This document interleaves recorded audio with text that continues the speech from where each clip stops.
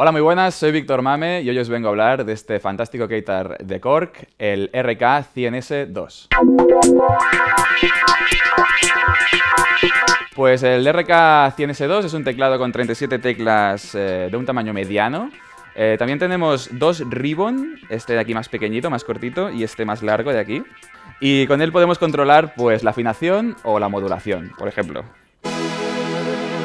En este caso la modulación.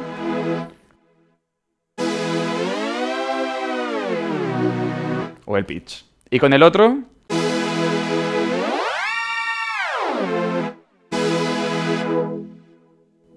En este caso un filtro. El ribbon largo también sirve para tocar las notas de la escala que podemos configurar con el software pertinente. Aquí en el mástil, junto al ribbon pequeño y a los botones de pitch y modulación, tenemos eh, un botón, unos botones muy interesantes, los de cambio de octava. Podemos ir hasta menos 3 y hasta más 3. Esto es muy útil, sobre todo eh, ya que el teclado tiene 37 teclas y si queremos hacer pues, algunas partes cambiando de octava de forma rápida, como por ejemplo podría ser...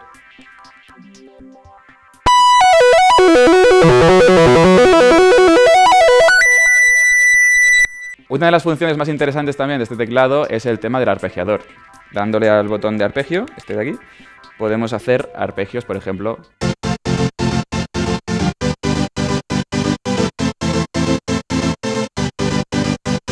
Si sumamos a este arpegio la función de hold para aguantar las notas, por ejemplo,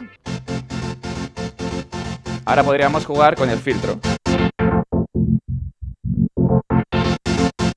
Incluso si usamos el Shift Hold, podemos quitar la mano de las teclas y usar solamente eh, el filtro y cambiar de acorde cuando nos apetezca. Por ejemplo...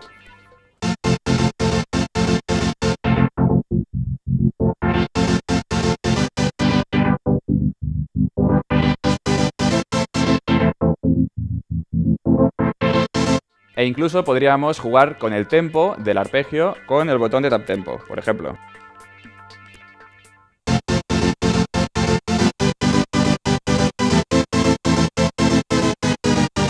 El apartado más interesante de este Keytar es el de los sonidos. Tiene 200 presets eh, agrupados en diferentes categorías de sonidos, como por ejemplo sintetizadores, leads, eh, cuerdas y muchos más.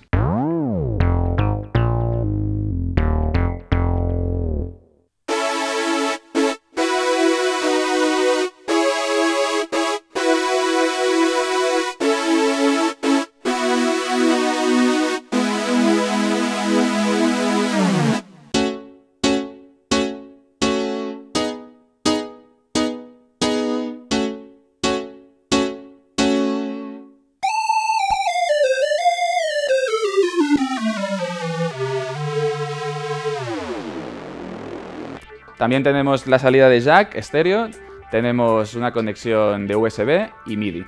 Y también tenemos una entrada de micrófono eh, de mini jack para usarlo como vocoder.